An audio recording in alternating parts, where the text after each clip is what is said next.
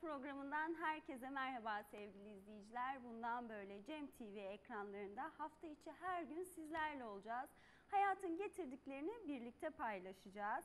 Önce gazete manşetleriyle başlamak istiyorum. Sevgili izleyiciler, Sabah gazetesinin manşetiyle başlamak istiyorum.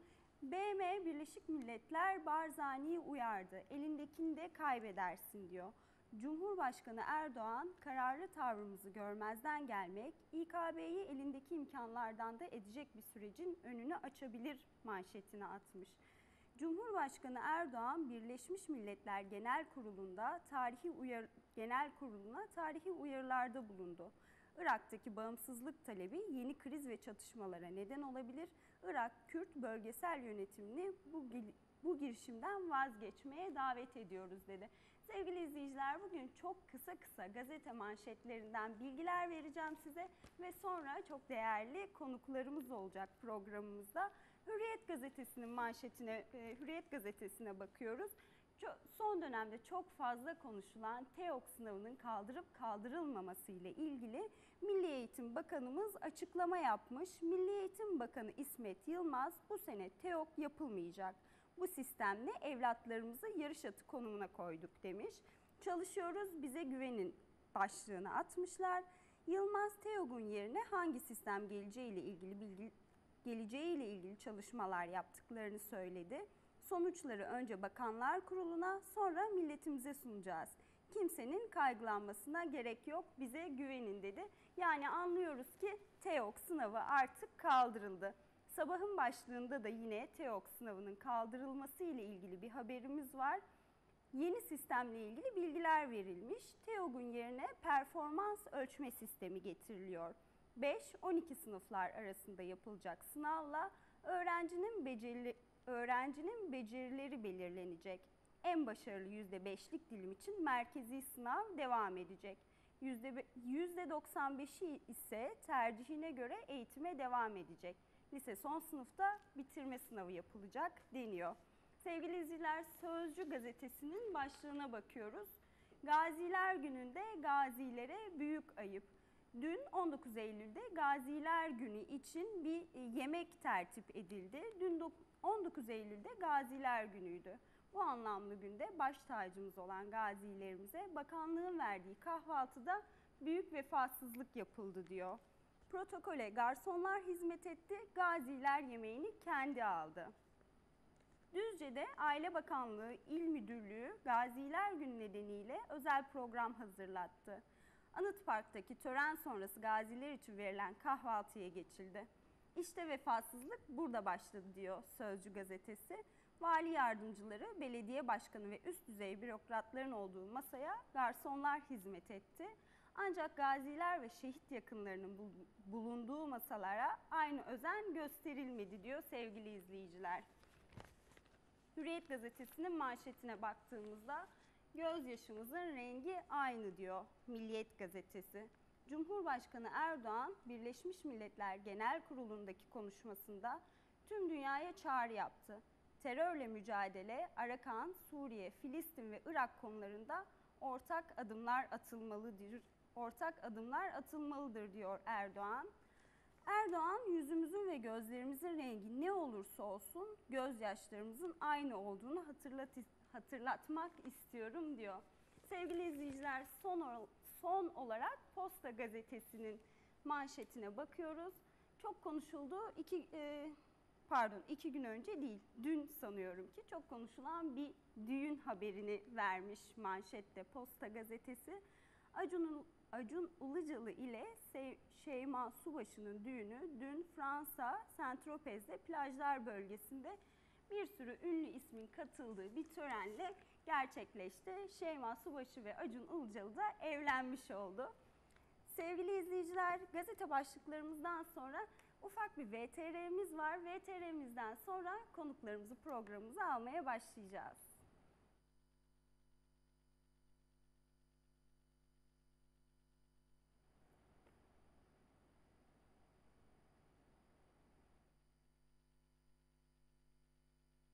Öksüzler Yurdu'ndan askeri okullara ve devlet opera sanatçılığına uzanan, türkülerin hüzünlü nameleriyle dolu koca bir hayat.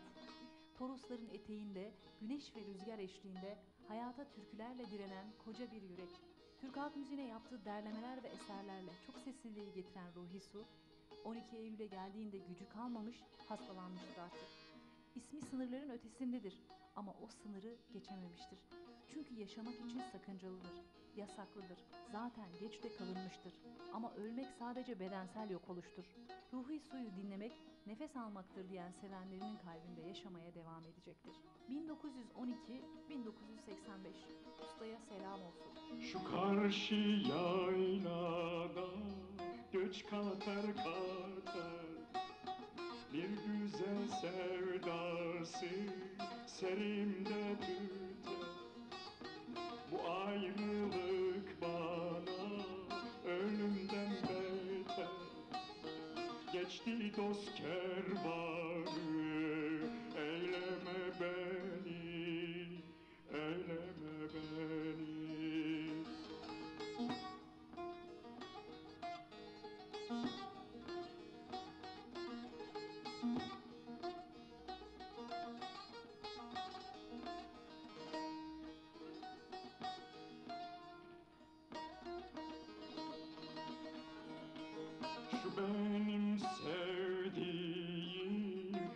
stone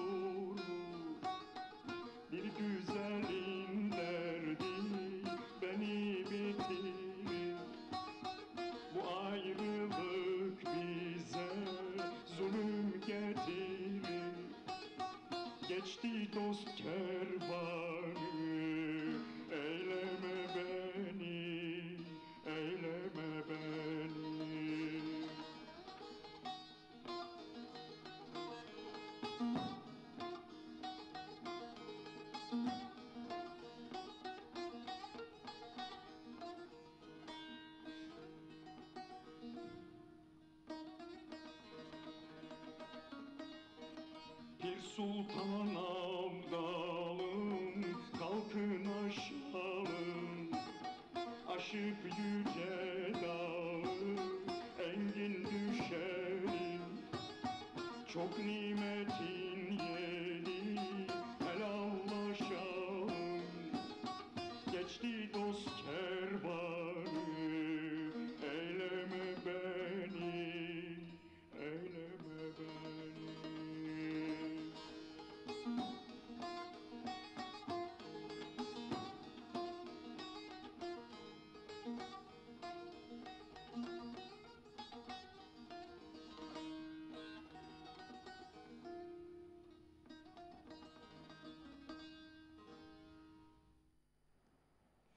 Sevgili izleyiciler, bugün yanımızda çok değerli bir konuğumuz var. Ilgın Su, 20 Eylül 1985'te hayatını kaybeden değerli ozanımız Ruhi Su'nun oğlu Ilgın Su. Bugün Ilgın Bey ile onu anacağız. Hoş geldiniz programımıza. Merhaba efendim. Nasılsınız efendim? Teşekkür ederim. Sağ olun.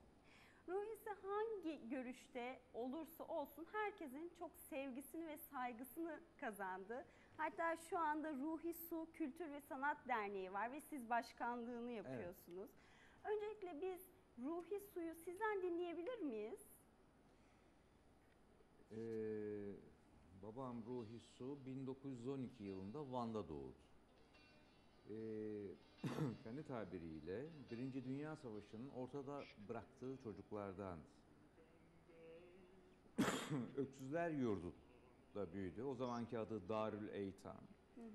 Öksüzler Yurdu'ndan sonra Ankara Musiki Muallim Mektebi e, bitirip müzik öğretmenliğine adımını attı.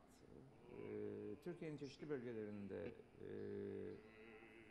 öğretmenlik yaptı, müzik öğretmenliği yaptı. Bunların içerisinde e, bugün eksikliğini hissettiğimiz köy enstitüleri dahil, yani Hasanoğlan ve Çift, Çifteler Köy Enstitüsü'nde hocalık yaptı. Ee, bu süre içerisinde evlendi. Oradan e, Sevim Hanım'la, Münire Sevim Hanım'la evlendi. Ve oradan abim Güngör Su doğdu. Hı hı. Ee, daha sonra e, Ankara Konservatuvarı kuruldu ve ora- oraya girdi ve oranın opera bölümünü bitirdi. Ve birçok operada e, rol aldı, görev aldı. Bunların içerisinde Madame Butterfly, Satılmış Nişanlı, Rigoletto, e, Yarasa, Sihirli Flüt, e, Fidelio. E, daha sonra 1951-52 tevkifatı diye bilinen e, TKF e, sorgulamasında içeri alındı ve 5 sene e, hüküm giydi. Daha sonra evlendiği eşi yani benim annem de aynı hapishanede evlendiler. E, çıktıktan sonra çeşitli film müzikleri yaptı. E, daha sonra iş bulup e, iş bulması çok güçtü. E, ve o sırada ben doğdum zaten. E, bazı e, gece kulüplerinde çalıştı. Bir süre öyle geçindi bizim ev. E, da- arkasından plakları çıktı. Uzun çalarları çıktı ve ölümüne kadar da yurt içi ve yurt dışı konserlerini sü- sürdürdü. Son konseri de 1983'te e, o zaman şimdi yandı e, Şan Tiyatrosu'nda Abdi İpekçi Barış ve Dostluk Vefatından herhalde iki yıl önce. Evet. Hı hı, son Daha sonra konser. da e, hastalandı. E, kanser oldu. E, pasaportu verilmedi. Son dakikaya kadar. Son dakika verildi pasaportu fakat babam artık hastaneden çıkamaz vaziyetteydi ve vefat etti. Herhalde 12 Eylül döneminin sıkıntılarından dolayı yurt dışına gitmesinde sıkıntı Evet, oldu. evet, Ve e, 20 Eylül 1985'te hayatını kaybetti. Siz şu an Ruhi Su Kültür ve Sanat Derneği'nin başkanlığını yürütüyorsunuz. Dernekte neler yapıyor, yapılıyor, faaliyetleri nelerdir? öncelikle e, Ruhi Su'nun müzik anlayışını, e, halk türkülerine bakış anlayışını unutturmamak e, ve geliştirmek için biz bu derneği kurduk. Hı hı. E, ve 45 senedir var olan koruyun da de- e, devamını sağlamak istedik. Ve şu anda e, bu koro e, çalışıyor ve bu akşam da Şişli e, Kent Kültür Merkezi'nde, Ce- Cemil Candaş Kent Kültür Merkezi'nde Bir anma töreni Ee, olacak sanıyorum. anma töreni ve etkinliğimiz olacak. Evet. Peki e, devamında neler olacak? Ruhi Su Kültür ve Sanat Derneği'nde başka neler yapacaksınız ileriki zamanlarda? Oo, Yani şu anda başladık. Ee, babamın e, aynı zamanda e, edebi kişiliği de var. Ee, ondan dolayı bir e, Ruhi Su Şiir Ödülü veriyoruz. 21 Ekim Bakırköy'de e, olacak o. Ee, ve konserler ve e, bununla ilgili belgeseller hazırlamayı düşünüyoruz. Böyle şu anda. Bu seneki programımız bu. Bunları gerçekleştireceğiz. Ilgın Bey, Ruhi Su, Turnalar Semahı ve Gelin Canlar Olalım gibi Alevi Bektaşi kültürüne iz bırakmış deyimlerle Evet, e, var. doğru. E, peki sizce Aleviler için Ruhi Su ne anlamı, ne ifade ediyor? Şimdi onları e, benden ziyade Alevi e, dostlarımıza e, sormak gerekiyor. E, onu erenler daha iyi cevaplayacaklardır. E, babamın ilk kovuşturmaya, devlet tarafından soruşturmaya u- uğraması Alevi türkülerini ilk derleyen ve e, kendi müzik anlayışı içerisinde yorumlayan kişi olması nedeniyledir. Bu 1930 ilk 1934'te ve 1944 yılında radyoda oluyor ve radyoda bundan dolayı da e, kovuşturmaya uğruyor. E, ve radyodan çıkartılıyor. E, hazırladığı programlardan dolayı e, ilk şeysi oldu ve genellikle de e, özellikle e, Alevilerin yaşam biçimi, e, bakış açıları ruhisi için e, bir e, yaşam tahtası olmuştur. Ruhi Su'nun e, sanatçı kimliğinin dışında siyasi bir kimliği de var. E, peki bu siyasi kimliği nasıl elde etti? Nasıl elde etti? Yani e, yani Türkiye'nin var olan koşullarını değerlendirerek elde etti. Ve bunu çok e, genç ve hatta çocuk denilecek yaşta elde etti. Ve e, hayatın sonuna kadar da hiç vazgeçmedi. Ilgın Bey, Ruhi Su'nun Fransa'da aldığı bir ödül var, akademi ödülü var ve Akademi de Charles. Evet. Evet.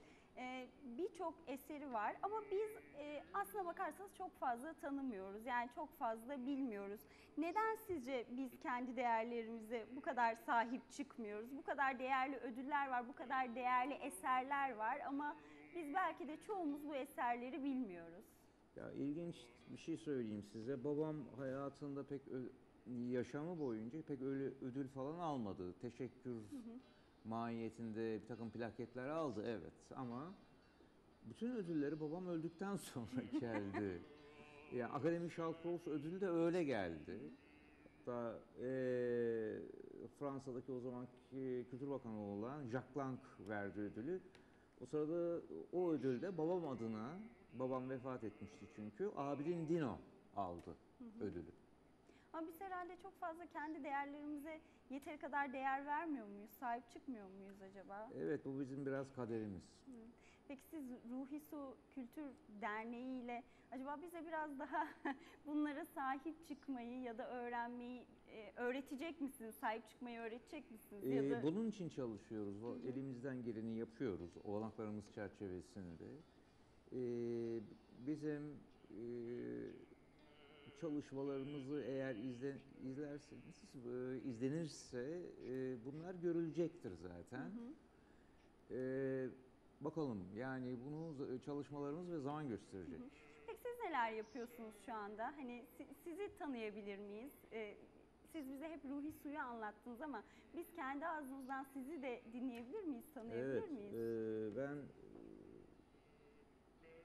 e, siyasallıyım e, ve e, 19 e, 12 Eylül'e kadar Kültür Bakanlığı Sinema Dairesi'nde memur olarak görev yaptım. Bizim başkanımız ve e, Onat Kutlar'dı rahmetli. Beni göreve de rahmet e, katledilen rahmetli e, Ahmet Taner Kışlalı getirmişti. Ee, fakat 12 Eylül'de bizim sinema dairesi kapandı. Ee, beni böyle bir ikram dairesi diye her bakanlıkta olan bir daire vardır. Aslında bir kızak görevidir o. Oraya aldılar. Ben de istifa ettim. Bıraktım. Daha sonra e, reklam piyasasında iş buldum, çalıştım. O zor 12 Eylül'ün zor koşullarında iş bulmak güçtü. Ee, ve reklam piyasasında is- isteyerek girdim, çalıştım. Ee, ve oradan emekli oldum. Ee, fakat devam ediyorum işlerime, çalışmalarıma. Peki e, Ruhi Su şu an yaşıyor olsaydı e, toplumun şu anki haline ne der? Nasıl bir tepki gösterirdi? Özellikle siyasi kimliğiyle. Ee, yani babamın problemi toplumun hali değil. Yani dünyanın hali toplumdan farklı değil. Dünya haline göre. Ee, pek hoş karşılayacağını zannetmiyorum tabii yani kesinlikle. E, şimdi e, Ruhi Su'nun bir eserini izleyeceğiz ve sevgili izleyiciler sonra kısa bir aramız olacak. Çok teşekkür ederim programımıza Ben teşekkür katıldığınız ederim, için. sağ olun. Çok İyi sağ olun. yayınlar. Teşekkür ederiz.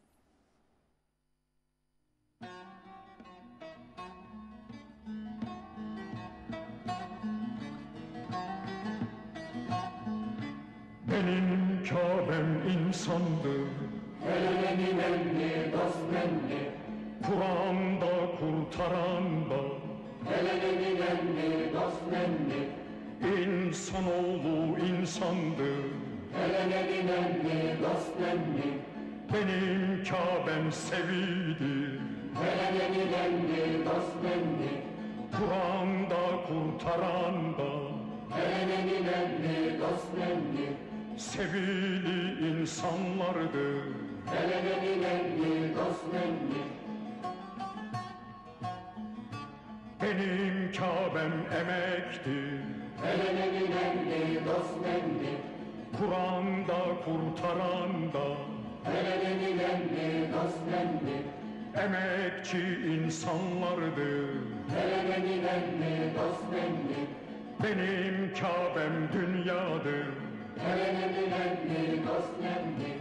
Kur'an'da kurtaran da. Dünyayı insanlardı. Ellerin Kabe'si var Benim Kabe'm insandır Kur'an'da kurtaran da İnsanoğlu insandır Ellerin Kabe'si var Benim Kabe'm sevilir. Kur'an'da kurtaran da Sevili insanlardır. Ellerin Kabe'si var Benim Kabe'm emektir. Kur'an'da kurtaran da Emekçi insanlardır.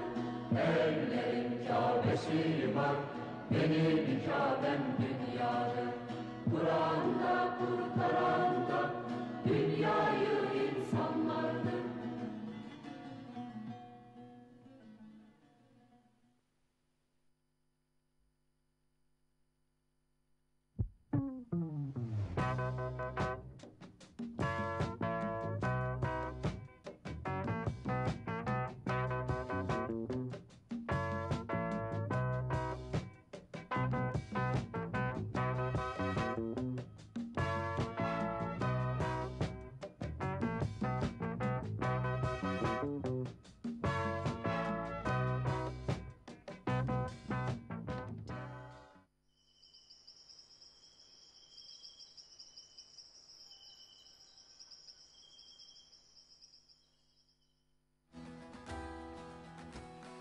...96.4 Cem Radyo.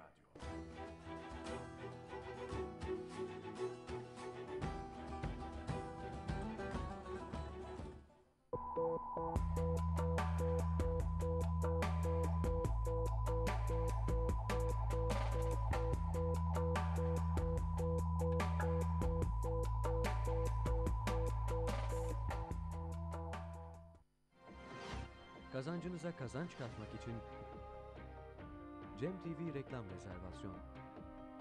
0212 625 18 18 reklam et cemmedya.com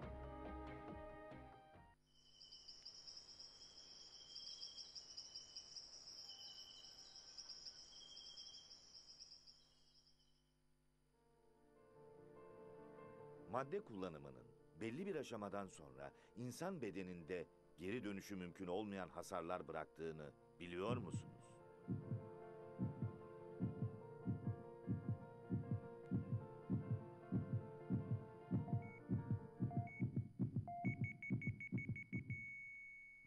Kullanımı felakete giden en kestirme yoldur. Durun ve bir daha düşünün. Dönüşü olmayan bu yola girmek istediğinizden emin misiniz?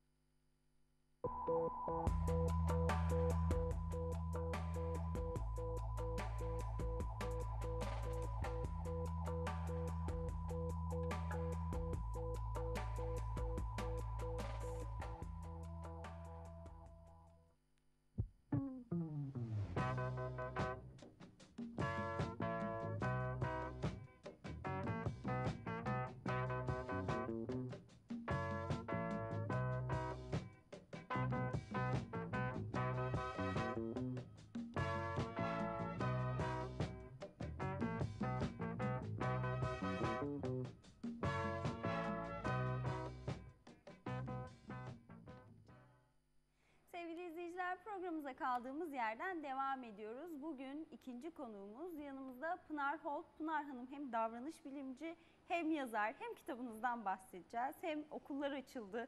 Çocuklar okula gitmek istemiyor. Neden böyle şeyler oluyor? Onlardan bahsedeceğiz. Nasılsınız? Hoş geldiniz İyiyim, programımıza. çok teşekkürler. Siz nasılsınız? Çok teşekkür ederiz. Biz de iyiyiz. Sizi izleyen izleyicilerimize tanıtabilir miyiz? Tabii e, İstanbul doğumluyum, davranış bilimciyim. Hem yazarlık yapıyorum 4-5 senedir e, birçok gazetede. Aynı zamanda bir e, teknoloji bağımlılığı ile ilgili bir kitap çalışmam var, o bitti. E, ve basıma verdik onu da. E, bunun dışında da seminerlerim oluyor, konuşmacı olarak katılıyorum.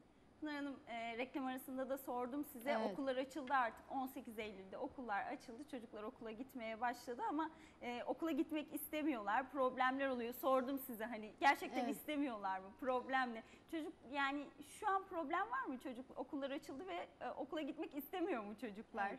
Size de bahsettim. Okulun ilk günü okullar açıldı ve ben benim telefonum bütün gün durmadı. Ee, birçok arkadaşım, birçok tanıdığım veli seminerlerde bir araya geldiğimiz ve e, ailelerden gelen mail ve e, telefonlara cevap vermek zorunda kaldım. Özellikle Çocuğum okula gitmek evet, istemiyor. ne yapacağım diye. İlk birkaç gün bundan geçti açıkçası. Ee, özellikle ilk defa anaokuluna ilk başlayacak çocukların e, yaşadığı bir evet ciddi bir sorun olabiliyor. Özellikle 1-2 haftada. Biz genelde uzmanlar şöyle söylüyor. İlk 1-2 hafta alışamama durumu normaldir ama bu süreç bir ayı ve bir aydan fazlasını e, aşıyorsa o zaman bir uzmanla beraber e, yol alıyor almak gerekiyor. O yüzden hani ben de arayan kişilere hep onu söyledim.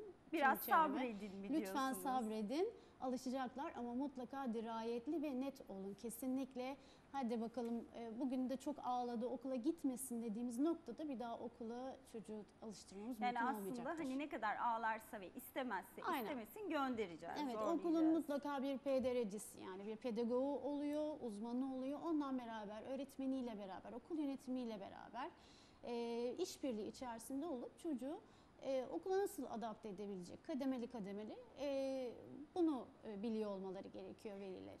Pınar Hanım şimdi size çocuklar niye okula gitmez diye soracağım ama kendimi düşündüğüm zaman ilkokula ve anaokuluna başladığım zaman ben de çok ağlamıştım okula gitmemek için. Çok çok ağladığımı hatırlıyorum. Ana sınıfında ve birinci sınıfta annem benle bir yarım döneme kadar benle okula gelip gidiyordu. Teneffüslerde bahçede bekliyordu benle. Çünkü annemi çok özlüyordum. Doğru. E, Yani o zamana kadar, ilkokula başlayana kadar annemden hiç ayrılmamışım. Sürekli birlikteyiz. Ev hanımıydı annem de. Evet. Okula gitmek çok zor geliyordu bana. Peki şimdi çocuklar neden okula gitmek istemiyor? Evet. Ee, şimdi ben hatta bununla ilgili bir köşe yazısı da yazmıştım bu ay. Ee, kendi kendime şunu düşündüm. Ben okulumun ilk gününü hiç unutmamışım mesela. Siz de unutmamışsınız. Ben Demek ki bir tek ben de- ilkokulumun ben de. ilk gününü. Ya benim unutmam gereken uzun bir yıl var arkamda sizin kadar genç değilim ama e, ben bile unutmamışım bunca yıl sonrasında. Ee, şöyle olmuştu kendi hikayemden yola çıkarak anlatacağım size. Ee, ben 7 yaşında başladım. Bizim zamanımızda 7 6 bile değildi. 7 yaşına kadar da evde oluyorsunuz. Yuva kavramı da yok. Ancak Evet. annenizin çalışıyor olması lazım. Annem ev hanımı. E, Dolayısıyla 7 yaşında ilk okulun bahçesine geldik. E, Annem aldı, sınıfa soktu beni. E, oturttu, yanaklarından öptü, Allah zihin açıklığı versin dedi. Döndü arkasına. Hiç ağlama bir şey yok bende. E, ama giderken bağırdım arkasından, anne beni unutmayacaksın değil mi diye. E, Demek ki dolayısıyla- hepimiz aynı Hepimizde var. Yani kimimizde kaygı olabiliyor, kimimizde korku olabiliyor, kimi çocukta çok heyecan olabiliyor. E, dolayısıyla duygular farklı farklı yaşanabiliyor çocuklar arasında. E, bunun sebebi de şey değil yani hani çocuk ben okula başlıyorum, arkadaşlarıma, okula, e, öğretmenime isyan ediyorum değil. E, güvenli olduğu alandan ve bakım veren, güven duyduğu kişiden ayrıldığı için bu tepkileri Kendi gösteriyor. güvenli olduğu ortamdan Aynen. çıkmak ve nereye ne olduğunu Aynen. bilmediği bir ortama Aynen girmek bu aslında onun değil tabii mi? ki kaygı ve korkuya, e, korku duygularına düşmesine sebep olur. Onun dışında da bir de şöyle tanımlıyorum. Ben şimdi çocuk kendi evinde kendi kraliyetini kuruyor. Yani istediği zaman televizyon izliyor, istediği zaman iPad'i açıyor, istediği zaman yemek yiyor, istediği zaman uyuyor, yatıyor, kalkıyor. E sonra okula başlıyor, başka bir krallığın e, esareti altına giriyor gibi bir şey oluyor. O Evet. zaman da isyan, e, kaşıklar kalkıyor, isyan ediyor çocuklar. O, o yüzden istemiyorlar okula gitmeyi. Diğer bir sebep de şu olabilir. e, hep bunu söylüyorum. Duygusal, duygular bulaşıcıdır.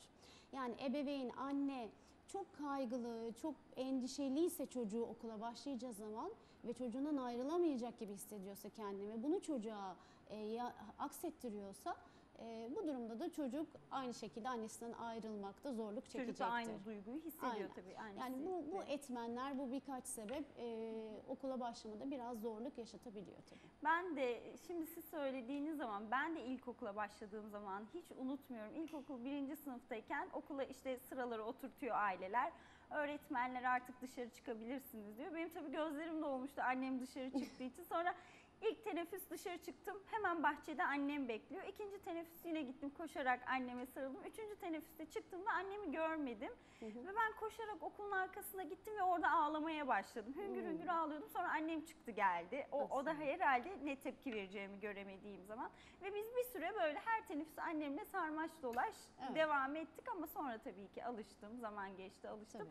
Dediğiniz gibi herhalde kendini güvende hissettiğin ortamdan çıktığın zaman ne yapacağını bilememe Evet. korkusu da herhalde var bunda. Aynen. Yani şimdi dediğim gibi daha önceki yıllarda e, yani benim zamanımda 7 yaşında başlıyorsunuz. Şimdi e, 0-3 yaştan sonra uzmanlar ufak ufak e, yuvalara, e, bakım evlerine ya da nereyse e, oraları yönlendiriyorlar çocuğu ve kritik bir yani anne e, çocuğun kopuşunun kritik bir zamanı oluyor bu. Dolayısıyla burada biraz daha kademeli kademeli. Ay- Uzmanlarımız da her zaman annelerimizi tavsiye ettiği e, konu budur. Örneğin e, okul açılmadan evvel çocuğu alıp okulun bahçesinde bir, bir saat, yuvanın bahçesinde bir, bir saat oynatmak haftanın birkaç günü oraya bir aşinalık. E, baktık hani çocuk alışamayacak gibi okula. Teneffüslerde arkadaşlarıyla e, şey yapmak işte bir araya getirip oyun oynatmak. E, ve sonrasında da işte kademeli kademeli bir saat günde sonra iki saat, üç saat gibi gibi e, bunu yükseltmek. Orada bir Yavaş yavaş kademe kademe alıştırarak Aynen öyle. Birden e, böyle sıcak suyun içine e, sokup batır ya da soğuk suyun içine sokup batır gibi değil. E, bir de tabii ki bakın anneniz orada çok güzel bir şey uygulamış aslında bakarsınız. Siz her teneffüse çıktığınızda annenizi orada görüyor olmanız e, hem annenize karşı güveninizi daha güçlendiriyor hem de kaygılarınızı daha azaltıyor. Annem teneffüste orada ben gidip Evet. sarılabilirim. Genelde okuldaki PDRC e, görevli arkadaşlarımız, pedagog arkadaşlarımız da ailelere bu yönergeleri veriyorlar zaten. Hani baktınız baktılar ki çocuk zor alışacak. Ne yapıyor? Anneyi bahçede oturtuyor birkaç gün. Çocuk teneffüse çıktıkça, canı istedikçe annesini görüyor. Ama anne ben burada bekliyorum deyip kalkıp başka bir yere gider ya da işine giderse e, tabii ki orada sorunlar daha e, büyüyebilir. Peki ama en sonunda alışıyorlar değil mi? Mecbur Evet. yani alışılıyor. Tabii tabii yani, alışıyorlar. A- e, peki ailelerin ne yapması gerekiyor? Dediğiniz gibi işte hani mesela bahçede bekleyebilir ve Evet. çok ısrar eden çocuklar da olabilir. Çok ağlayıp gitmek istemeyen, alışamayan çocuklar. Yani ailelerin aslında evde tutumları nasıl olmalı çocuklara karşı? Ee, şimdi tabii evde de belli sınırlamalar olması gerekiyor. Özellikle okulların, yuvaların açılması ya da hani normal ilkokul, ortaokul değilse benim de bir kızım var 12 yaşında. Biz de okula açılmasına yakın ne yaptık? Ee, uyku saatlerini tekrar bir düzenlemeye koyduk. Yani işte akşamleyin 9-10 dedin mi işte yatakta olunur. Bunu tekrar geri getirdik. Olabiliyor mu peki yatakta? Evet oluyor. Yani benim kızım oluyor. Zaten hani yazında çok geç saatlere oturmadığı için e, kışında 9 gibi 9 gibi uyuma değil ama en azından okuma saati, sohbet saati sonra da uykuya geçiş gibi bir şey yapılıyor.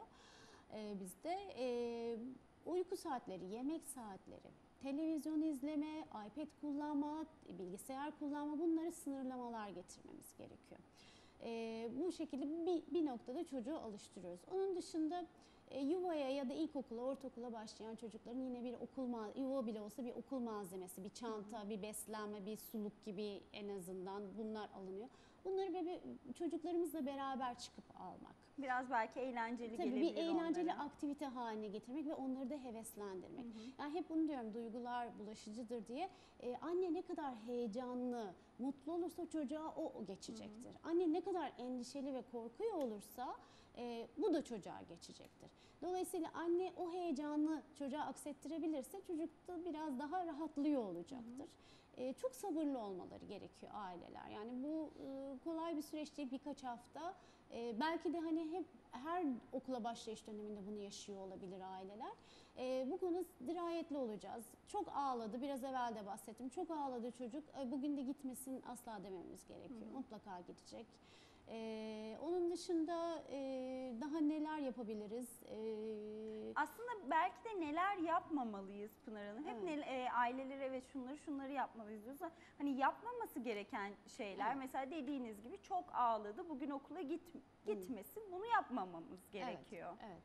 Ee, ya he- bunu her seferinde de her ortamda da söylüyorum. Kullandığımız kelimeler aslında çok önemli. Çok tehlikeli de olabiliyor, çok iyi bir yere de hizmet ediyor olabiliyor. Dolayısıyla konuş özellikle çocuklarımızın yanında konuşurken ne olursa olsun konu mutlaka kelimelerimize çok dikkat etmemiz gerekiyor. Ee, çocuk okula başlayacak korkma, ağlama, korkacak bir şey yok gibi kelimeler kullandığınız zaman zaten çocuğun korkmayacağı varsa bile korkmaya başlayacaktır. Dolayısıyla bu, bu tarz kelimeler kullanmamaya dikkat etmemiz gerekiyor. Üçüncü şahıslarla telefonda ya da çocuğun yanındayken kesinlikle işte bu çocuk ben bu, bu sözleri çok duyuyorum. Bu çocuk nasıl alışacak? İşte aç kalır, şimdi dayak yer gelir, bu kendini de savunamaz gibi cümleleri kesinlikle kullanmamamız gerekiyor. Bunlar özgüvenlerini de çocukların azaltacaktır ve adapte olmasını da çok zorlandıracaktır okulda. Bunları yapmamamız gerekiyor. E, Değil mi? Aslında cümle seçerken şeylere çok dikkat etmek gerekiyor. Hani ben kendi çevremden de gördüğüm, yaşadığım. Birisi bana bir şey söyledi. Yani çok ufak bir şey. Seni şu aradı mı derken aramadı değil mi demesi bile beni demoralize ediyor. Sen bana niye aramadı değil mi diye soruyorsun. Aradı mı diye sorsana aramadı değil mi? yani Olumsuz, evet, evet. cümleyi bir olumsuz evet. başlamak bir anda yani sizle konuşurken bir anda hemen kendimi kapatma hissi yani uyandırıyor Aynı bende. şey çocuklar için de geçer. Yani burada yapmamız gereken şey çocuğun duygularını ortaya çıkarabilmek. Yani e, kaygılandığının farkındayım. Bu senin için özel ve ilk gün e, gibi bu tarz konuşmalar neler neler seni korkutuyor? Neler seni endişelendiriyor? Neler seni heyecanlandırıyor? Gel bunlar hakkında biraz konuşmak ister misin? E, biraz kendi e, okul yıllarımızı, mesela sizin hikayeniz, benim hikayem, bunları çocuklarımızla paylaşıyor olmak gerekiyor. Okulun bize kattığı değerleri paylaşıyor olmamız gerekiyor çocuklarımızla. E, bu şekilde adapte olabileceklerine inanıyorum ben. Ben e, çocukluğumda bir anaokuluna gittim. Biraz okul öncesi alışmak için. Sonra ilkokula başladım ve eğitim Süper. hayatım başladı. Ama siz şimdi, sizin de söylediğiniz gibi şimdi çocuklar neredeyse 3 yaşında yuvalara, kreşlere Evet, gitmeye başlıyor. evet. Acaba doğru e, okul zamanı ne zaman? Yani çocuklar ne zaman okula gitmeye başlamalı ya da işte kreşe, anaokuluna gitmeli? Evet. Ee, şimdi 0-3 yaş anne ile çocuğun e, sağlıklı bağlanması gereken ve çocuğun öz bakım becerilerini öğrenmesi gereken bir dönem olduğu için anne ile birlikte ya da bakım veren kişiyle birlikte evde olması gereken dönem. Bu dönemde ne yapılabilir?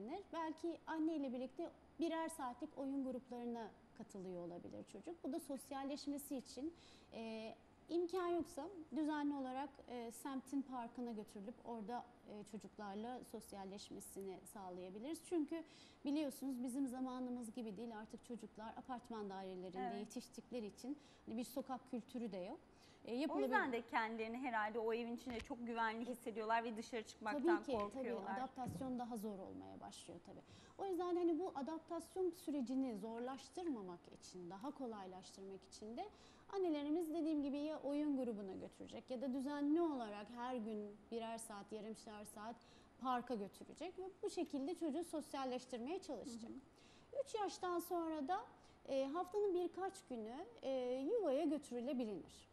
E, 4 yaşta da artık uzmanlar diyor ki her gün çocuk yuvaya gitmeye hazırdır, gidebilir. Zaten 5 yaşta artık hani okul öncesinde gidilmesi gereken zorunlu bir Yani aslında 4 yaşından itibaren çocuk çok ufak geliyor bana da onlar. 4 yaşındaki hani ufacık çocukların okula Evet. gidiyor olması, o çantaları takması. Önce bir Evet. üzülüyorum. Ya diyorum çok ufaklar bunlar sabahın köründe gidiyorlar ama doğru olanı o değil mi? Yani e, benim gibi anneler de şey yapmamalı. Vicdanen ya çok küçük işte sabah erken uyanması zor olur. Aç mı kalır? Orada işte birisi bir şey mi yapar? Bunları düşünmemek gerekiyor anladığım kadarıyla. bir durum yani e, artısına ve eksisine bakmak durumundayız. Eğer çocuk tek başına evde bir bakıcıyla büyüyorsa sosyal bir alan içerisinde olması çocuk için daha iyi olacaktır. Ee, hani vicdani kısım işte yemek yedi mi, aç kaldı mı o kısımları hep ben e, bana danışan annelere her zaman söylüyorum. Öğrenecek yani e, biz nasıl öğrendik onlar da öğreniyor olacaklar. Yani yine ben kendimden bir hikaye hatırlıyorum. Ee, çok ufakken çok zayıfmışım. Herhalde şimdi onların acısını çıkarıp. Yani çok uzun süre e, kilo alamamışım. Çok zayıf böyle bir çocukmuşum. Ve annem çok korkuyormuş. Ee, benim çocuğum açlıktan ölecek diye çok korkuyormuş. Çok zayıf olduğum için. Doktora gitmiş ve doktor şey demiş anneme. Sen hiç açlıktan ölen bir çocuk gördün mü? Hayır. Evde yemeğiniz var, her şeyiniz var. Kendisi istemiyorsa bırak o kendi acıktığı zaman neyi ne kadar yemesi gerektiğini biliyor. O yiyecek.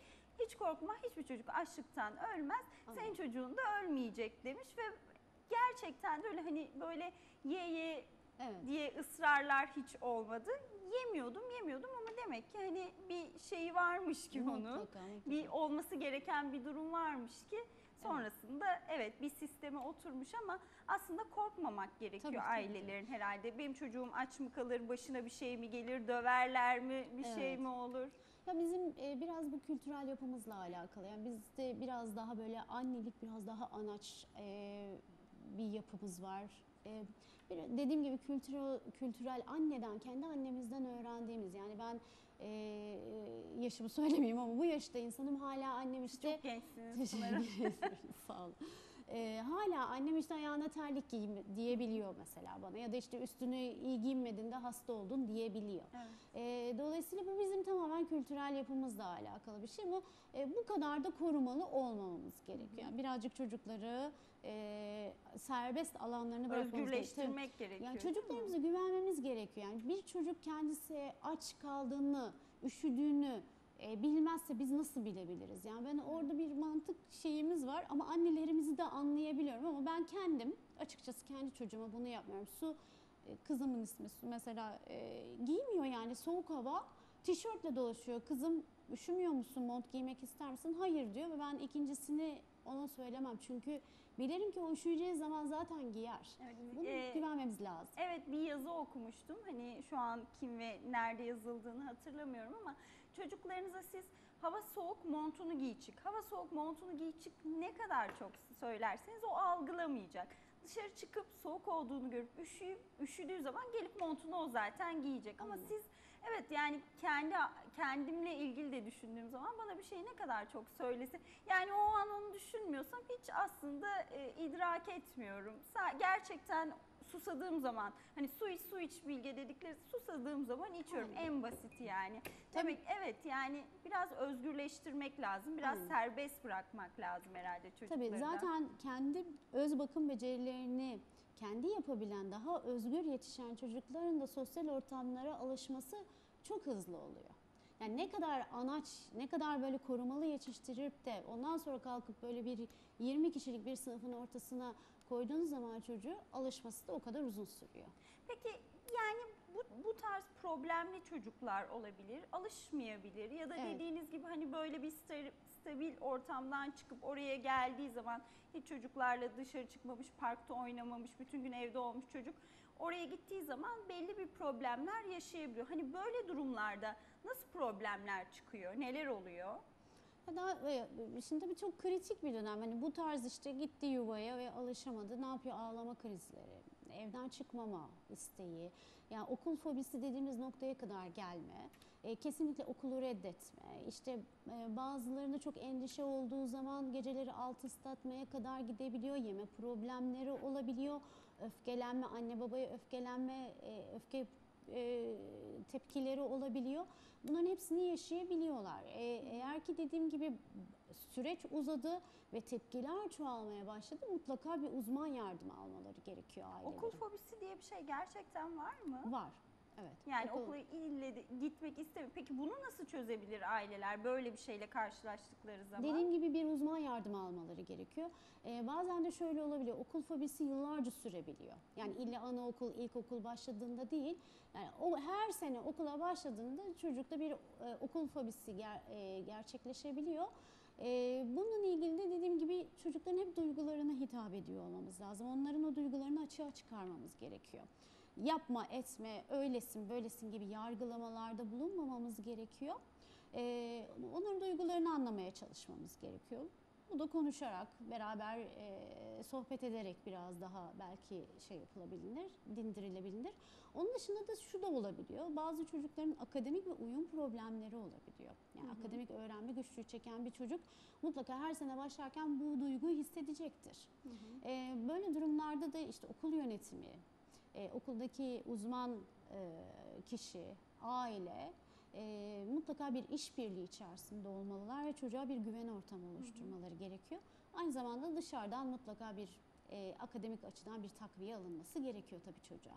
Ben e, ilkokul zamanında çok önemli bir sınav, bir şey varsa ya da o gün okula gitmek istemiyorsam, yataktan uyanamamışsam, hiç canım istemiyorsa karnım ağrırdı. Yani herhalde ilkokulun böyle ilkokul zamanı çok büyük bir kısım benim karnım ağrıyarak geçti. Sonra karnımın ağrıdığında kendime inandırıyordum herhalde.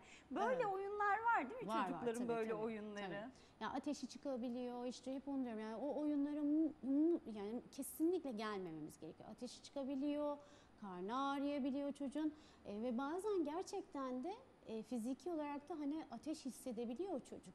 E, işte böyle durumlarda tabii ki de e, baktığınız ki fiziksel ve sağlığıyla ilgili bir şey yaşanır mutlaka bir doktora gösterilmeli. E, ama bu kadar çocuk tepki veriyorsa, dışa vuruyorsa dediğim gibi bununla ilgili de bir önlem alınması gerekiyor. Yine bir uzmanla birlikte çözmek Aynen, gerekiyor çözülmesi bu gerekiyor. problemi. Şimdi yaz boyunca çocuklar çok eğlendi, gezdi, tatiller oldu ve özellikle son yıllarda hayatımızın içinde olan işte akıllı telefonlar, tabletler, oyunlar ve bunları bıraktı çocuklar okula başladı. Tabii ki zorluk çekecekler, tabii zor olacak. Peki okuldan geldikten sonra artık e, onların süreci nasıl olmalı? Artık tatiller bitti, evet erken yatmaları gerekiyor, ertesi gün okul var.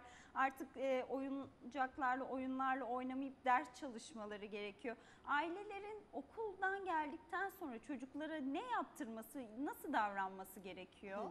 Yani hep e, şunu söylüyorum. İlk eğitim aileden alınıyor. Yani en önemli eğitim orada. İlk orada alıyoruz biz şeyimizi. E, ve bebeklikten itibaren e, hep e, her seferinde seminerlerimde de bunu bahsediyorum. Bebeğin, çocuğun bir rutini olması gerekiyor. Yani bir program dahilinde yaşıyor olması gerekiyor. İşte oyun saati, televizyon saati, yemek saati, işte dışarıdaki oyun saati, sinema saati, sosyal aktivite, tiyatro saati gibi gibi gibi. Ee, yaz e, yazın zaten bir tabii hepimizde bir rehavet oluyor. Bizlerde de oluyor, çocuklarımızda da oluyor. Bir program bozukluğu da olabiliyor. Ama okula yak- açılmaya yaklaşan dönemde ufak ufak biz bunları tekrar bir rutine sokmamız gerekiyor.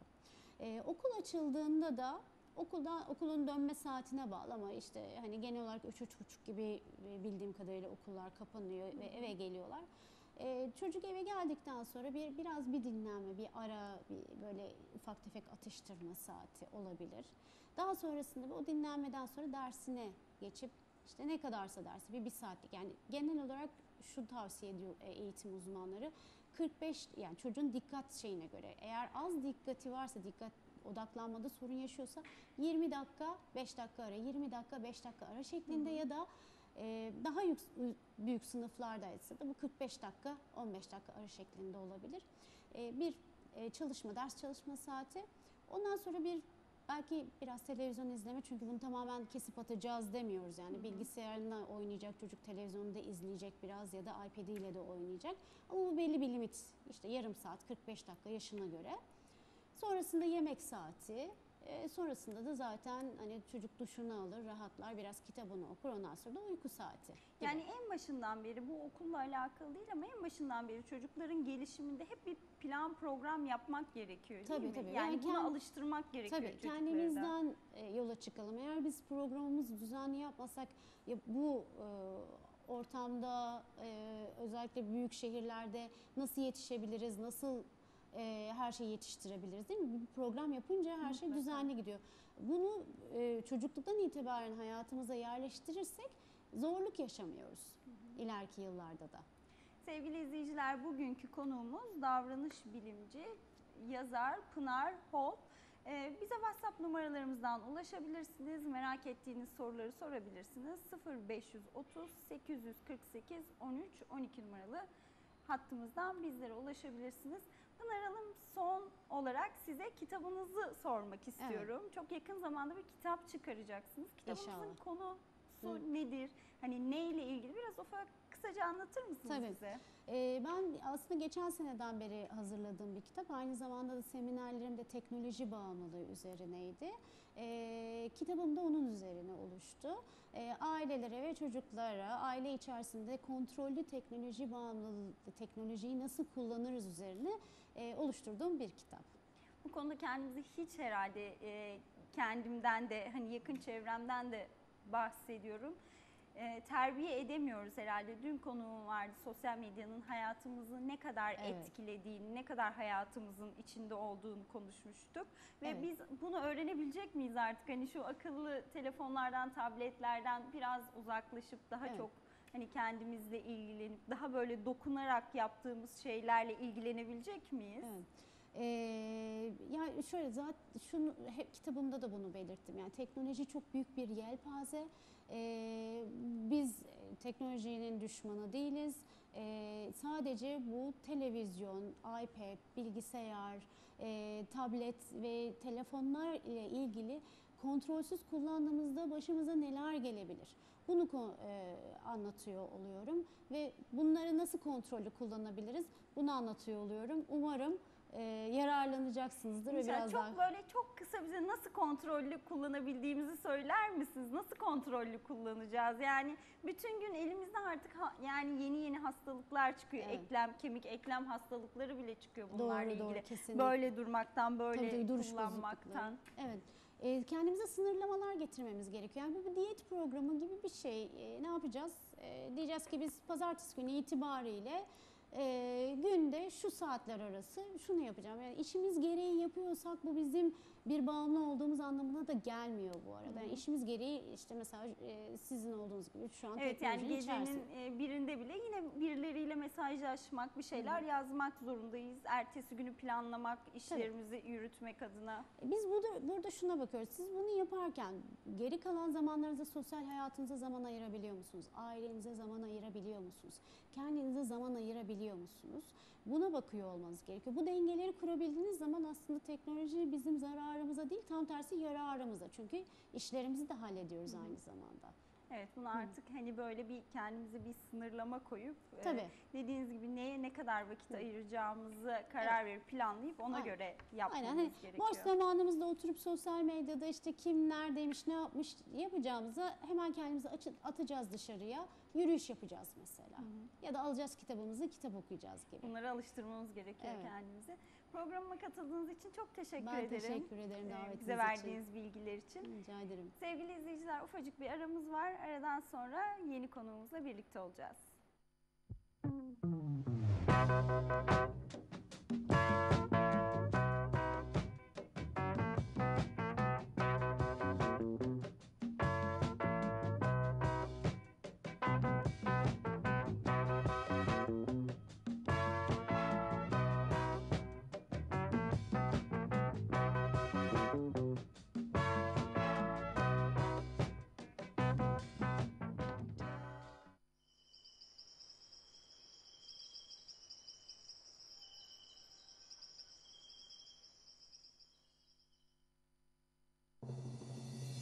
İnternet hızlı olmalı diyorsanız D-Smart İnternet tam size göre.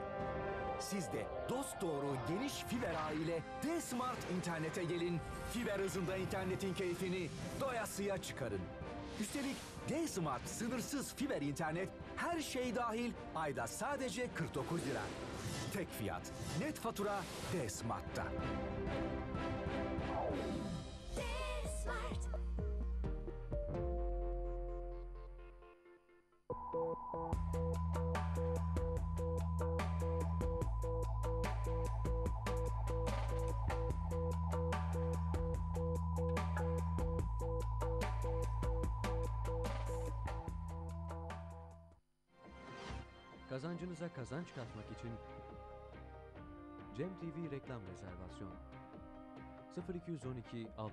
625 18 18 reklam et cemmedya.com 96.4 Cem Radyo.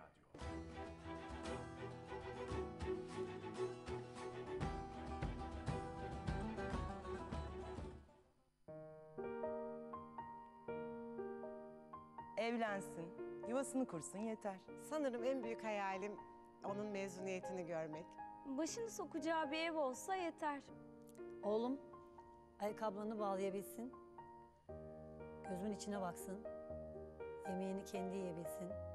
Kıyafetlerini kendi giyip çıkarsın. En önemlisi de ileride bana anne diyebilsin. Yeter. Deniz Hanım gibi annelerin hayalleri birçok çocuk için küçük ama otizmli çocuklar için büyük hayaller. Fakat erken tanı ve eğitimle ulaşılamayacak hayaller değil. Destek verseniz yeter. Bırakmak istiyorum da kahveyi sigarası içemiyorum. Bir kere bıraktım 3 kilo aldım. 20 kilo verdim. Ya benim içtiğim çok hafif. Bu yaşadığımız çok ağır. Abi bir gün bırakırım ya. Daha çok vakit var. Maalesef çok geç. Sigarayı bırak. Hayatı bırakma. Bırakabilirsin.org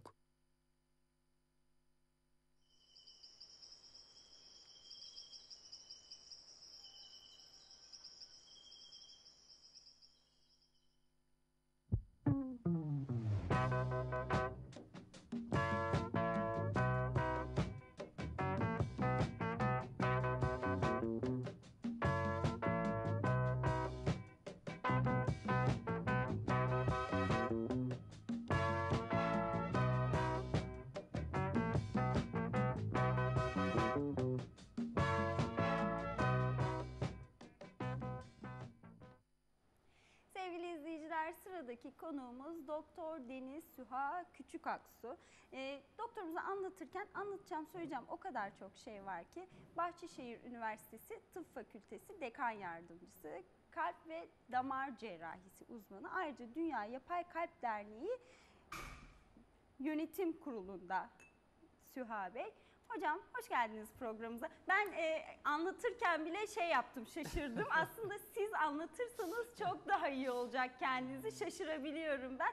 Çünkü bir sürü şey var sizinle ilgili söyleyebileceğim. Çok teşekkür ederim. Öncelikle yeni hay- yayın dönemimiz hayırlı olsun. Çok teşekkür Ee, ederiz Cem TV geldiğiniz için, bizi ailesine. yalnız bırakmadığınız için. Rica ederim.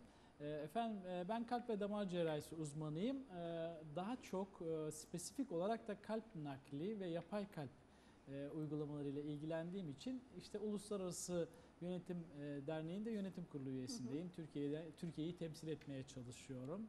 Ee, Uğraşlarımız bunlar. Sevgili izleyiciler biz e, Doktor Bey ile birkaç gün önce tekrar görüşmüştük. Kalple ilgili o kadar sormak istediğim şey vardı ki onları ben şimdi tabii yayına bıraktım. Her şeyi sormadım. E, ama en başından başlamak istiyorum. Hani kalp deyince ilk aklımıza gelen böyle hani izleyicilerimize de pratik bilgiler vermek adına da kalp krizi, kalp krizi e, ve e, bu konuda sizin de hani yazılarınızı okudum. Kalp kriziyle ilgili ilk etapta ne ne söyleyebiliriz izleyicilerimize? Kalp krizi neden olur? Ya aslında kalp krizi kalbimize özen göstermememizden kaynaklanıyor bence. Yani arabamıza bakım yaptırıyoruz. 10 bin kilometre, 20 bin kilometre ama kalbimize yeterince e, zaman ayırıp da bir bakım yaptırmıyoruz. Yani bir gözden geçirtmiyoruz. Halbuki kalp o kadar duyarlı bir organ ki çeşitli e, şekilde bizi uyarıyor, alarmlar veriyor. Ya bunları algılamakta geç kalıyoruz ya da algılayamıyoruz. Tabii ki e, insan kalbi e, bir yaşam boyunca 3 ya da 4 milyar kere çarpan güçlü bir kas organı. Çok güçlü bir organ kas. Hiç durmadan hareket ediyor, hiç durmadan çalışan. Evet ve kendi içinde otomatiği var, otomasyonu var. Siz karışamıyorsunuz. Yani kalbin biraz yavaşla dinlen diyemiyorsunuz. Ya da Sakinleş. sakinleş diyemiyorsunuz. O kendi içinde bir dinamiği var, bir otomasyonu var. Dolayısıyla bizim ona çok iyi bakmamız lazım. Hı. Yani gözümüze bakar gibi bakmamız lazım. Çünkü zaman ilerledikçe, yaş ilerledikçe özellikle e, bayanlarda, kadınlarda menopozdan sonra Hı hı. e, o kadınlık hormonlarının koruyuculuk etkisi ateroskleroza karşı kalktıktan sonra erkeklerde ise inanın bana 20 yaşından 100 yaşına kadar her yaşta kalp krizi görebiliyoruz. Eyvah.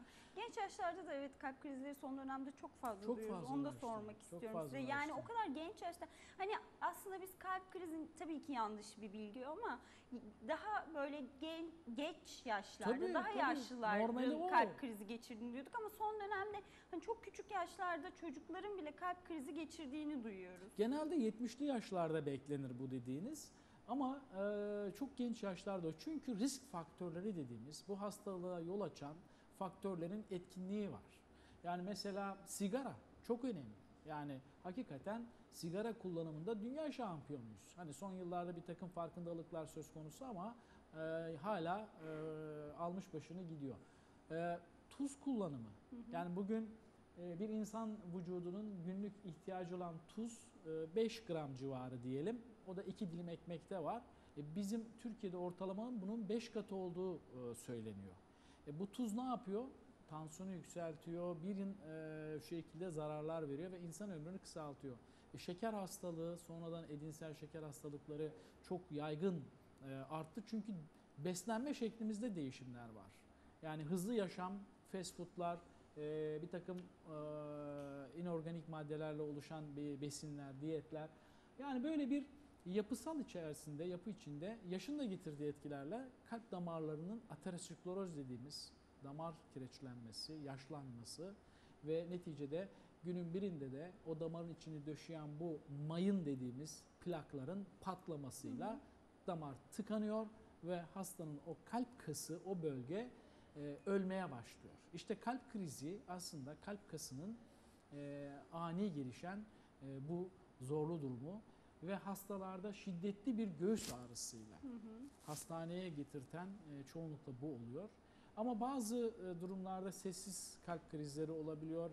Ne bileyim bir mide bağırsak şikayetiyle bir bulantı kusmayla da e, kalbin arka yüzündeki kalp krizleri kendilerini böyle gösterebiliyorlar. Ama çoğunlukla göğüs ağrısı ve şiddetli göğüs ağrısıyla hasta e, geliyor. Yani önleyici tedbirler tabii çok önemli ve bunun çocukluk yaşta başlaması lazım. İnsan kalp damarları m, çocukluk yaştan itibaren etkilenmeye başlıyor. Yani e, işte çocukken yedirelim, içirelim, büyüsün, hoplasın, aa biraz Aç şişmanmış, kalmasın, şey aç kalmasın, tıkıştıralım. E, obeziteye doğru yönelsin. E, bir şey olmaz. Biraz büyüyünce, spor yapınca kendine gelir. Ama damarlar öyle hemen kendine gelmiyor. Regresyon çok çok minimal e, gerçekleşiyor damarlardaki kireçlenmelerde. O nedenle çocukluk yaştan itibaren beslenmesi, spora olan düşkünlüğünü, e, aktif yaşam şeklini e, oluşturmamız lazım ve çünkü çok e, ne diyeyim vahşi bir dünyada yaşıyoruz. Evet. Yani stresler inanılmaz boyutta ve çeşitlilikte. Her Kesinlikle. çeşit stres yaşıyoruz ve Her bunlara an stres stres içindeyiz. Yani hani aslında bunu bastırmayı öğrenirsek çok daha güzel ve Türkiye olacak olarak yani. daha çok stresliyiz. Yani ben Türk insanının çok daha büyük stresli olduğunu düşünüyorum. Yani etrafımızdaki siyasi yapı, sosyal yapıyı düşünecek olursanız yani Türk insanının bir Avrupalıdan, bir Amerikalıdan çok daha fazla stres altında olduğunu maddi manevi sürekli Evet. stres Evet, altındayız. o yüzden Türkiye'de doğru. kalp ölümleri daha fazla. Öyle mi? Tabii Avrupa raporunda bu yayınlandı. Türkiye'de ve dünyada zaten kalp ölümleri bir numaradır. En çok insanların ölüm nedenleri. Türkiye'de çok daha fazla Hı hı. e, oranda, iki kat daha fazla oranda çıkmıştır Avrupalı insana göre. Ya, ve insanlarımız Avrupalı insana göre 10 yıl daha erken kalp hastası oluyor. İşte bu nedenlerden yani e, bu değişen şartlar, değişen e, şeyler yani sağlık siyaseti de önemli. Türkiye'de e, bence insana yönelik birebir bunlar düşünülmüyor. Genel topyekün e, yapılanmalar var. E, ümit ediyorum e, bunlar bu gerçekler görünüyor yazılı çizili ama bunlara yönelik tedbirlerin de alınması gerekir diye düşünüyorum. Kalbimiz sağlığı genel sağlık demektir. Çünkü Hı hı. kalbe olan problemler insanın hayatını Bütün kısaltır, her yeri yok eder. zaten. Ona çok önem göstermemiz gerekiyor. Hı hı. E, bir e, geçtiğimiz dönemde bir e, uzmanımız gelmişti ve ona bir arkadaş şey sormuştu. Kalbim ağrıyor ve şöyle ağrıyor diye nokta göstermişti. O dedim kalp krizi geçiriyorum galiba demişti. Hayır o kalp krizi geçir geçirmiyorsundur. Yani nokta bir yer ağrıyorsa o kalp krizi değildir dedi. Kalp krizinin belirtileri nelerdir? Yani e, ne kendimize ne hissettiğimiz zaman dikkat etmeli. Yani eyvah bir alarm çalıyor dememiz gerekiyor. Çok doğru. Çünkü e, özellikle kalp damarlarında bir daralma varsa ve bunlar belli bir kritik seviyenin üzerinde, örneğin %50'nin üzerinde bir kalp damarı daralmışsa o bölgede bir e, kalp kasında bir eforla mesela merdiven çıkarken, yürürken hastada bazı semptom dediğimiz şikayetler verir. En önemlisi göğsün tam ortasında şu halk arasında e, iman tahtası dedikleri tam bu bölgede bir baskı hissi e, O ile klasik kendini derler ya buraya bir fil oturmuş gibi hissediyorum. o mu? bir şey var, bir el var. Evet, aynen öyle. Öyle. Ve bunu hisseder ama dinlenir geçer. Bu ilk alarmdır. Tabii şeyi e, bunu duyarlılığı yüksek e, hastamız hemen doktora gelerek bunu daha ileri testlerle ortaya koyar. Ha bu giderek sıklaşmaya başlar. Basit eforlarda yoğunlaşmaya başlar ve sonunda da çok şiddetli bıçak saplanır gibi bir ağrı ile hastayı krize getirir. Tabii bu geçmeyen bir ağrıdır. Hani girdi çıktı, şu mememin altına bir ağrı girdi ama geçti. Bunlar kalp kriziyle alakası olmayan şeylerdir. Kalp krizi ağrısı başladığı zaman inanın e, hastaneye gelip ve morfin gibi çok güçlü e, e, ağrı kesicilerle geçirebileceğiniz bir ağrıdır. Hı hı. Yani biz kendimiz fark edebilecek miyiz? Yani Buyurun. hadi şeyi öğrenmemiz gerekiyor. Hani nasıl bir ağrı geldiğini ve nereden olduğunu. Çünkü ge- e, geçenlerde bir arkadaşımla otururken kalp krizi geçirmiş ama hani birkaç süre sonra anlamış en sonunda. Şey diyor midem yanıyordu Bilge. Evet. Sürekli midem yanıyordu. Sürekli ve mide yanmasını önleyici şurup, ilaçlar almış. Ama bunlar geçmediği zaman artık ya ben bir doktora gideyim. Hani bu kadar mide yanması normal değil diye gittiği zaman kalp krizi Evet. olduğu mu artık hani İşte kalp kalbin krizi e, kriz anlaşılmış. geçirdiğiniz bölgesine göre değişiyor bazı şeyler. Hı hı. Yani kalbin alt kısmından kriz geçiriyorsanız orayı besleyen damar tıkandıysa kalbin altında mide var. Komşuluk diyaframla birlikte. Dolayısıyla oradaki ağrı mide ağrısı gibi yanma şeklinde bulantı kusma, hazımsızlıkla kendini gösterebiliyor. Böyle hastalar oluyor. Geçmiyor mesela. Yarım saat, bir saat, iki saat hasta geliyor bir bakıyor ki kalp krizi geçiriyor. Inferior kalp krizi dediğimiz krizleri.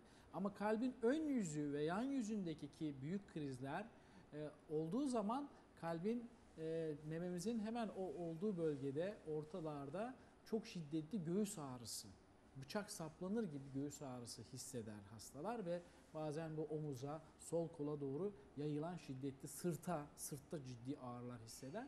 Yani mutlaka e, bu tip bir ön duvar krizleri hastayı hastaneye getirecek şiddette ağrılardır. E, ama arka krizler dediğim gibi bir gastrointestinal sistem, hazımsızlık, işte e, mide yanması, ekşimesi falan bu tip şeylerde de gelebilir. Şeker hastaları çok e, önemli. Çünkü onların nöropatileri nedeniyle şeker hastaları daha çok e, kalp krizini hafif ağrı olarak hissederler ama genel sıkıntı olarak hissederler. E, terleme, böyle e, fenalık hissi gibi şeyler hissedebilirler. Dolayısıyla e, hastadan hastaya değişen formları, paternleri de olmaktadır. Peki kalp krizi böyle bir süreç mi? Yoksa bir anda hani kalp krizi geçirip yani aslında biz hani onu televizyonda, dizilerde, filmlerde görüyoruz. Kalp krizi geçirir hasta ve hemen ambulansla hastaneye gider. Kalp krizi öyle bir durum mu yoksa böyle bir süreç mi? Çünkü hani arkadaşım diyor ki sürekli midem yanıyor, midem yanıyor. Hastaneye gittim kalp krizi geçiriyormuşum aslında. Uzun süren bir süreç mi bu? Kalp krizi e, başladığı anda e, müdahale edilmesi gereken bir süreç. Hı hı. Çünkü kalp krizi demek kalp kasınızda hücreler ölüyor demek.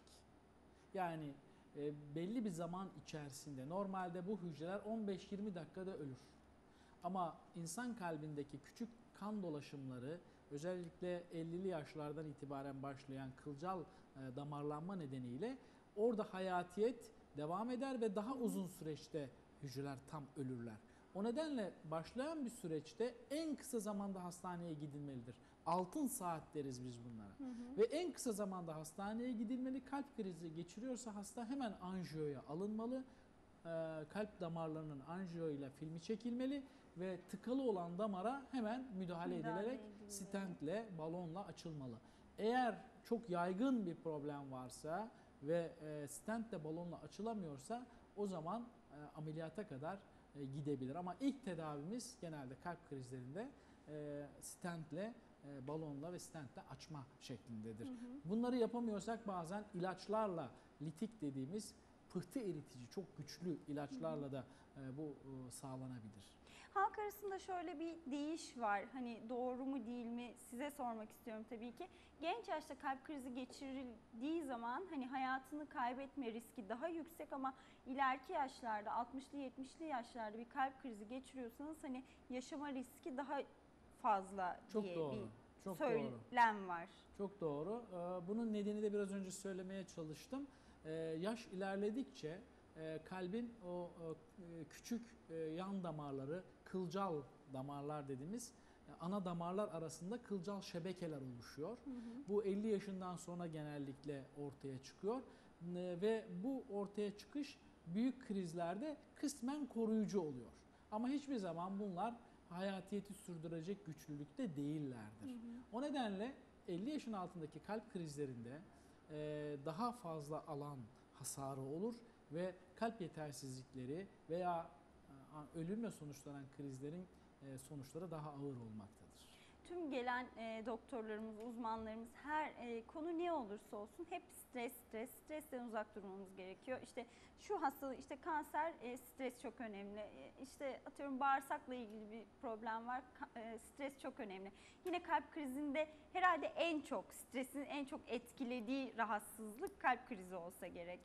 Tabii ki, tabii ki yani stresin e, çeşitli etkin e, e, etkilerle kalpte e, bunu yaptığını biliyoruz. E, kalp e, hızını arttırması, damarlardaki değişimler, e, stresin ani gelişim e, gelişmeleri, ani tansiyon yükselmeleri yapmaları, e, bunlar e, etkin. Bir de kronik stresler, e, özellikle e, yıllar içerisinde oluşan devamlı e, kronik streslerin de etkileri var.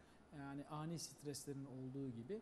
E, tabii ki e, bu yaşadığımız dünyada biraz önce de söylediğim artık yaşamak herkes kendine göre stresini e, düzenleyebileceği, ayarlayabileceği bir ekstra bir hobi, bir şey bulmalı. İşte müzik olabilir, resim olabilir, sanat olabilir, spor olabilir, e, meditasyon e, yolları var biliyorsunuz yogadan ve diğer birçok e, bölümü var bunun. Bunları hayatımızın her gününe koymamız lazım. Yani ben haftada bir gün değil, her güne bir serpiştirmemiz lazım. Bunu hem beyin hem ruh ve hem kalp sağlığımız için yapmamız gerekir diye düşünüyorum. Hı hı. Tabii bunu ne kadar gerçekleştiririz, gerçekleştiriyor musunuz diye bana sorarsanız ha ben %50-60 oranında Tam gerçekleştirdiğimi onu soracaktım. Doktor Bey şimdi ben sizi her gördüğümde çok yumuşak konuşuyorsunuz, çok sakin, her şeyi çok güzel anlatıyorsunuz, hep güler yüzlüsünüz. Ba- Bana göre bence siz hiç stres yaşamayan bir insansınız. Öyle mi Gayet stressiz gözüküyorsunuz ve bu konuyu en iyi kalp ve damar cerrahı olarak kalbe nasıl bakmasını gerektiğini biz sizden öğreniyoruz. Siz bize anlatıyorsunuz. Peki siz ne yapıyorsunuz? Nasıl bakıyorsunuz kalbinize? Yani en iyi siz bakıyorsunuzdur herhalde bize öğrettiğinize göre. O zaman siz kendinize ne yapıyorsunuz? Bunları anlatın biz de bunu buradan öğrenelim.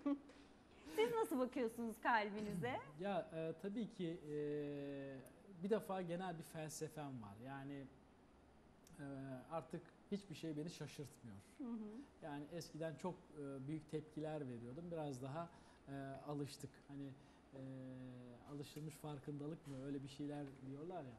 Neticede e, bir defa spor çok önemli. Yani ne olursa olsun haftada 3 gün e, en az 3 gün e, bir yürüyüş ve biraz e, kas çalışmaları e, ile kendimi hem e, ruhen hem fiziken iyi hissediyorum. Bu önemli. Beslenmeye çok dikkat ediyorum. Hı hı. Yani e, öğünlerde hep yarım yemeye çalışıyorum. E, bu bir alışkanlık. Tuzu ve şekeri örneğin şeyimden kaldırdım. Çok Ee, yemeğe çok tuz atanlara uyarmak istiyorum. Bizim Kesinlikle. evde de var öyle Evet. yemeğe çok tuz. Yani yemeği tuzlu yapıyor bir de tuzu dolduruyor. Tuzlu- bir de üstüne tuz koyuyor uyarmak masadan istiyorum. kalksın. Tuzluklar masadan kalksın. Zaten yemeğe yeterince tuz konuyor. Her yemekte de özellikle sebzelerde zaten sodyum e, klorür var, şey var. Yani tuzluklar masadan kalkmalı. E, ve tuz çok önemli. Gerçekten e, hipertansiyon e, ve Türkiye'de hipertansiyon e, çok e, üst sıralarda. Hı hı. En büyük risk faktörlerinin e, birincisidir. Sigara ve hipertansiyon. Evet. Sonra şeker vesaire gelir. Ve özellikle Karadeniz insanları e, biraz da heyecanlı biliyorsunuz. Hı hı. Oralarda daha yoğun hipertansiyon. Ama kalp krizlerinin e, Marmara'da ve Ege'de daha fa- e, İzmir, e, Ankara, İstanbul Evet öyle bir istatistik var mı biliyoruz. Türkiye'de hani kalp krizlerinin daha çok hangi bölgelerde Tabii, olduğuna tabii. dair? Türk Harf çalışması var. Profesör Altan Anat hocamızın yıllar önce başlattığı ve devam eden çeşitli şeylerde burada bölgesel, şehirsel analizler yapılmış ve söylediğim gibi Marmara bölgesi özellikle bu açıdan birinci sırada yer alıyor. Ee, En ve stresli e, bölge de Marmara bölgesi herhalde yaşamın hocam. en zor olduğu yer İstanbul belki de Hı hı. e, o da var. Ee, Karadeniz'in e, özellikle hipertansiyon yine e, çok şey oldu. Tabii bunlar daha çok kardiyolog arkadaşlarımız bu konularda çok daha etkindirler. Ben de biraz işin e, oluşan tahribatın düzeltilmesi Hı hı. için ameliyatlarla düzeltilmesine bypass ameliyatlarıyla e, biz daha çok meşgul olduğumuz için e, bu sonuçları da görüyoruz tabii. Peki kalp krizi geçirmiş bir hastanın genç ya da yaşlı fark etmez. Sonra hayatında neler değişiyor? Tabii bu krizle e, krizin büyüklüğü, krizin e, krize müdahale şekilleriyle ilgili bir şey. İnanın bana bazen çok büyük krizler minimal hasarla atlatılabiliyor. Hı hı. Ama bazen küçük krizler çok büyük hasarlar oluşturabiliyor. E, ama neticede kalp krizini ister ameliyatla, bypass ameliyatıyla, ister stentlemeyle e, tedavi edilsin. Bundan sonraki bir süreçte kişinin e, kalbine e, çok dikkat etmesi. Yani bunu yaparken beslenmesinden, kötü alışkanlıklarından, hayatına sporu ve rehabilitasyon dediğimiz süreçleri koymasına kadar geniş bir yelpaze e, söz konusu. Tabii ki e, kişinin e, değiştiremeyeceği faktörler var. E, yaş ilerliyor, e, efendim e, bunun dışında cinsiyet söz konusu. E, bunun e, değiştirilebileceği faktörleri çok iyi bir şekilde kontrol etmesi lazım. İlaçlar bazı ilaçları kullanması gerekiyor. Bunları kullanması lazım. Neticede e, bunları yaptığı zaman e, ateroskleroza karşı en iyi mücadelenin verildiğini görüyoruz. Şeker ve insülin direnci, glikoz intoleransı gibi konularda mutlaka bir endokrin doktorunun kontrol önemli. Yani aslında ben hastalarıma şunu söylemek isterim. Kalp hastalığınız varsa sizin bir kardiyoloğunuz olacak. Sizin bir cerrahınız olacak. Sizin bir endokrin doktorunuz olacak. Yani ve bir göğüs doktorunuz Bunu sigara da sürekli içiyorsunuz. e, kendimize dikkat edip yani Kesinlikle. belli aralıklarla kontrollü olmamız Kesinlikle. gerekiyor. Yani şekeri olan bir hastanın mutlaka bir endokrin doktoru e, kontrolünde olması şart. Yoksa bu faktörler bypass da yapsanız 10 yıl, 15 yıl, 20 yıl sonra damarlar tekrar sorun yaratabiliyor. Kendi Hı hı. damarlarınızda takılan damarlarda stentler tıkanabiliyor. E, o yüzden e, sadece ameliyat olmakla stent takılmasıyla bu iş bitmiyor.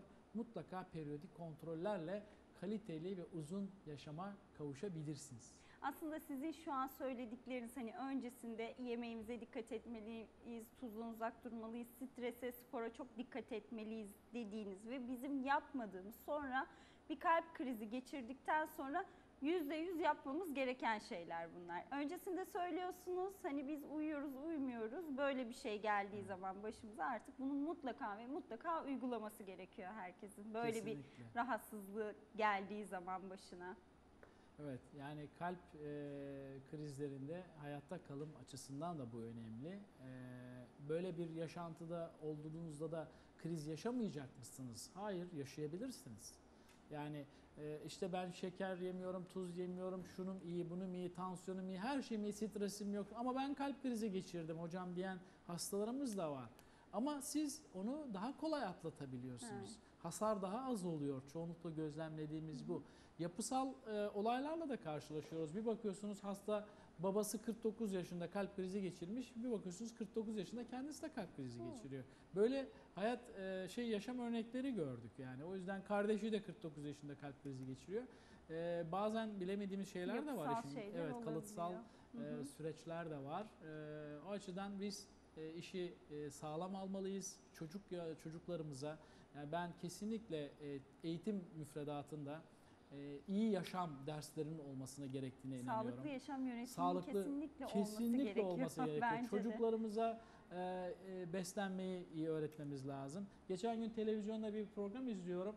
E, bir müdür e, okulun kantininde kebap servisi vermekle Eyvah, e, eyvah. e, şey yapıyorduk. Küçük yaştan başlamış o zaman kalp sağlığı ile ilgili Yani oynamaya. düşünün yani yani bu müdüre ne diyelim? Yani biraz dünyadan haberdar olmamız lazım. Bilimin sesine kulak vermesi lazım. Politikacıların da e, tüm toplumun kesimlerinde. Bilimin yani Tüm Atatürk ne demişti? En hakiki mürşit ilimdir. Yani ilimdir, bilimdir. Dolayısıyla bilimsel gerçekler ortada. Bu yönde gitmemiz lazım. Çok teşekkür ederiz programımıza katıldığınız Ben için ve bize verdiğiniz değerli bilgiler için. Aslında ben size kalp nakillerinden, organ nakillerinden sorular soracaktım ama Evet. vaktimiz yetmediği için inşallah bir başka programımızda çok merak ediyorum. Çünkü kalp nakliyle ilgili her şeyi onları soracağım. Çok teşekkürler programımıza Ben katıldığınız teşekkür için. ederim. Sevgili izleyiciler Bilgeli Hayat programının bugün sonuna geldik. Yine yarın yine aynı saatte Cem TV ekranlarında olacağız. Size veda ederken Ezgi'nin günlüğünden bir parçayla veda ediyoruz. Hoşçakalın. Eksik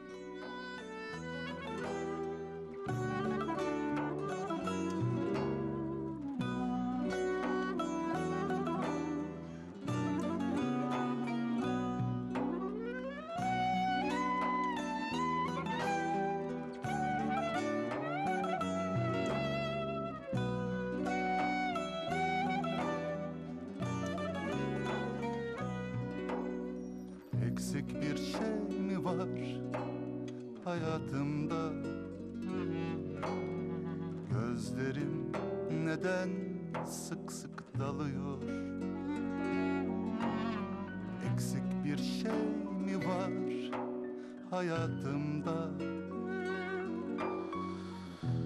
Gökyüzü bazen ciğerime doluyor